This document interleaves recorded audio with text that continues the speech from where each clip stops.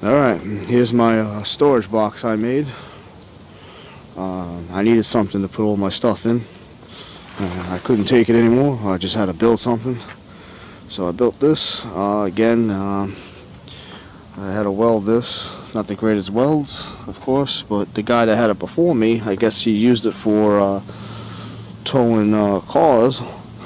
And he needed this whole this space, I guess, because the cars were hitting the other shelf that was here. Uh, I guess the other box that was here. So I guess this is what I had to do. I had to make another one.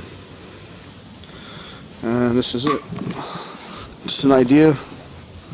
Uh, everything's pretty good, even. Most of it's even.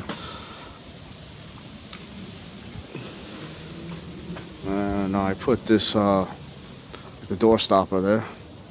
I'll show you that real quick. Well, it'd be nice if I unlocked it.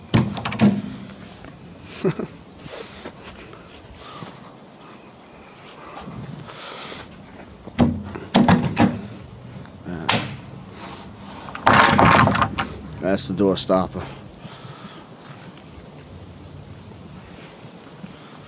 It's basically not bad. It's pretty good. Just wanted to show you. It's just an idea. And this wire.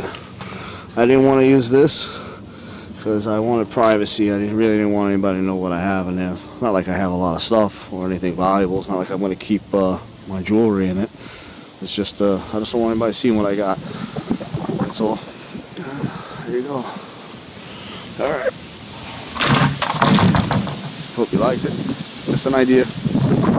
Have a good day. Thanks for watching.